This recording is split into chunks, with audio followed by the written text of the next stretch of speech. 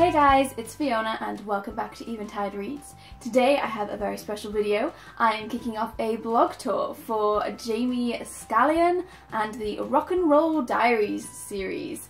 So this is for book three in the series, which is called Losing It, which is out today. The author Jamie has very kindly recorded himself reading an extract from his new book. So I will play that now, but stay tuned to the end of the video where I will announce some competition details for something very, very exciting. Hi, my name's Jamie Scallion. This is the Rock and Roll Diaries, Book 3, Losing It.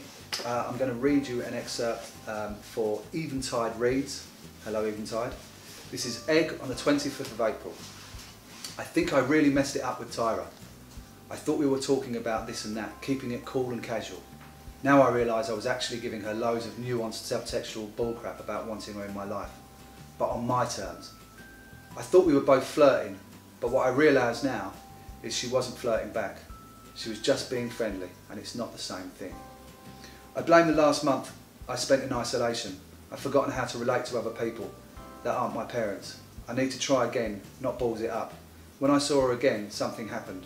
Usually I can explain my deepest emotions with words. It's kind of my job, but I can't this time. She moves me somehow, and she's so different to Bex.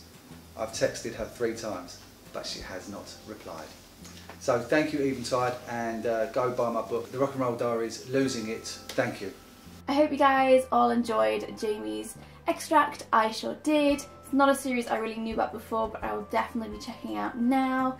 And so that competition I mentioned at the beginning, it's very, very exciting. So if you're aged between 14 and 18, you are eligible to enter. There is an EP released for every book in the series, and I will link down below where you can see those EPs, as well as all the details for the competition will be written down in full below. And to enter this competition, you need to click on one of the links below to go to one of the work in progress songs and to complete one of those songs. Now, there are loads of really, like, really cool things happening around this.